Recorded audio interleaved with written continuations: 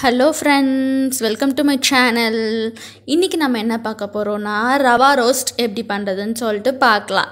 இந்த ரவா ரோஸ்ட் பார்த்திங்கன்னா ஒரு அஞ்சுலேருந்து பத்து நிமிஷத்துக்குள்ளே நம்ம சீக்கிரமாக பண்ணிடலாம். இப்போ உங்கள் வீட்டில் வந்து மாவு இல்லை டிஃபன் வந்து வேறு ஏதாவது செய்யணும் அப்படின்னு சொல்லி நீங்கள் யோசிச்சுட்டு இருந்தீங்கன்னா அந்த நேரத்தில் நீங்கள் வந்து ஒரு பத்தே நிமிஷத்தில் சீக்கிரமாக இந்த மாதிரி ரவா ரோஸ்ட் பண்ணிக்கலாம். உங்களுக்கும் ரொம்ப ஈஸியாகவும் இருக்கும்.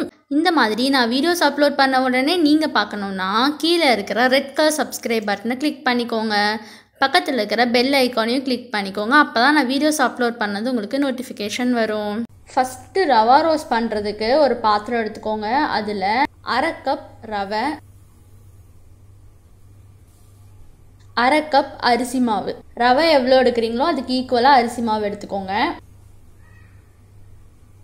ஒரு டேபிள் ஸ்பூன் மைதா மாவு ஒரு டேபிள் ஸ்பூன் தயிர் நல்லா கெட்டியான தயிராக எடுத்துக்கோங்க.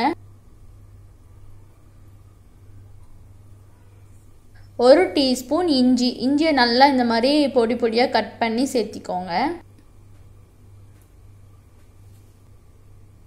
ஒரு ரெண்டுலேருந்து மூணு பச்சை மிளகாயை நல்லா இந்த மாதிரி பொடியாக நறுக்கி சேர்த்திக்கோங்க.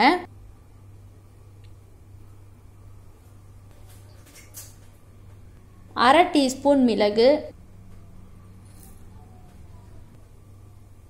ஒரு டீஸ்பூன் சீரகம்.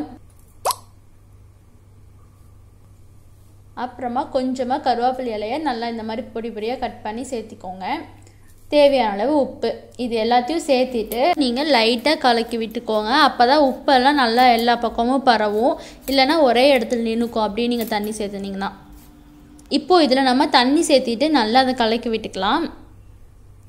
கொஞ்சம் கொஞ்சமாக தண்ணி சேர்த்திக்கோங்க. ஒரே டைமில் வந்து நிறையா அப்படி தண்ணி சேர்த்திடாதீங்க ஃபஸ்ட்டு இது ஒரு டைம் நல்லா இந்த மாதிரி கலக்கிக்கோங்க. அதுக்கப்புறமா மறுபடியும் வந்து இன்னும் கொஞ்சம் தண்ணி சேர்த்திக்கலாம்.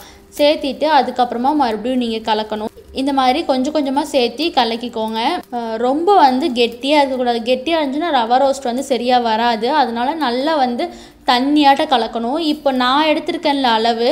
அதாவது வந்து அரை கப்பு ரவை அரை கப்பு அரிசி மாவு எடுத்துருக்கிறேன்ல இந்த அளவுக்கு நீங்கள் பார்த்தீங்கன்னா ஒரு ரெண்டரை கப் அளவுக்கு நம்ம தண்ணி சேர்க்க வேண்டியது வரும் அளவு. நீங்கள் வந்து கொஞ்சம் கொஞ்சமாக தண்ணி சேர்த்து அதை நல்லா கலக்கிக்கோங்க. இப்போ வந்து இதை நம்ம நல்லா கலக்கியாச்சு. அடுத்தது இது ஒரு பத்துலேருந்து பதினஞ்சு நிமிஷம் வரைக்கும் நல்லா அப்படியே ஊறட்டும். இப்போ வந்து ஒரு பதினஞ்சு நிமிஷம் ஆயிடுச்சு. இதை நல்லா கலக்கி விட்டுக்கோங்க. ஏன்னா அது வந்து அந்த மிளகு சீரகம் அது அதுக்கப்புறம் தண்ணி இதெல்லாமே வந்து பிரிஞ்சு வந்திருக்கும். அதனால அதை வந்து நல்லா இந்த மாதிரி கலக்கி விட்டுக்கோங்க. கலக்கி விட்டதுக்கு அப்புறமா உங்களுக்கு பார்த்தாலே தெரியும் நல்லா வந்து எப்படி தண்ணியாட்டம் இருக்குதுன்னு சொல்லிட்டு இந்த மாதிரி தான் இருக்கணும். ரொம்ப கெட்டியாக கரைச்சிடாதீங்க. அடுத்தது இப்போ நம்ம தோசைக்கல்லை ஊற்றிடலாம் தோசைக்கல் வந்து அப்படியே வந்து மொத்தமாக ஒரே இடத்துல ஊற்றிடாதீங்க கொஞ்சம் எப்படி இந்த மாதிரி நான் ஊற்றுனேன்னா அந்த மாதிரி தள்ளி தள்ளி ஊற்றிக்கோங்க அங்கங்கன்னு கொஞ்சம் வந்து ஓட்டை ஓட்டையாக இருக்கிற மாதிரி அந்த மாதிரி நீங்கள் ஊற்றி விட்டுக்கோங்க. மொத்தமாக ஒரே இடத்துல நம்ம அரிசி மாவு தோசை ஊற்றுவோம்ல அந்த மாதிரி ஊற்றிடாதீங்க இப்போ மாவு ஊற்றுனதுக்கப்புறமா அதில் லைட்டாக மேலே எண்ணெய் சேர்த்திக்கோங்க.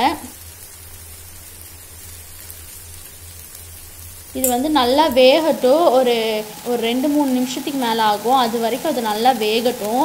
நல்லா உங்களுக்கு ப்ரௌனாக வருது பாருங்கள் உங்களுக்கு பார்த்தா தெரியும். இந்த மாதிரி நல்லா அது ப்ரௌனாக வரும்போது இப்போ தான் வந்து நீங்கள் எடுக்கணும். முன்னாடி எடுத்திங்கன்னா அது வந்து அந்த மொறுமொறுப்பாகவே இருக்காது. அதனால் வந்து நல்லா அது ப்ரௌன் ஆனதுக்கப்புறம் எடுத்துக்கோங்க. இப்போ வந்து நம்மளோட ரவா ரோஸ்ட் ரெடி ஆயிடுச்சு. இப்போ நம்மளோட சூப்பராக டேஸ்டான ரவா ரோஸ்ட் ரெடி ஆயிடுச்சு. நீங்களும் இதை ட்ரை பண்ணி பாருங்கள் ட்ரை பண்ணி பார்த்துட்டு எப்படி இருந்துச்சுன்னு சொல்லுங்கள் இந்த வீடியோ உங்களுக்கு பிடிச்சிருந்தா லைக் பண்ணுங்கள் ஷேர் பண்ணுங்கள் மறக்காமல் கீழே இருக்கிற ரெட் கலர் சப்ஸ்கிரைப் பட்டனை கிளிக் பண்ணிக்கோங்க. பக்கத்தில் இருக்கிற பெல் ஐக்கானையும் கிளிக் பண்ணிக்கோங்க. அப்போ தான் நான் வீடியோஸ் அப்லோட் பண்ண உடனே நீங்கள் பார்க்க முடியும். மறுபடியும் நம்ம அடுத்த வீடியோவில் பார்க்கலாம்.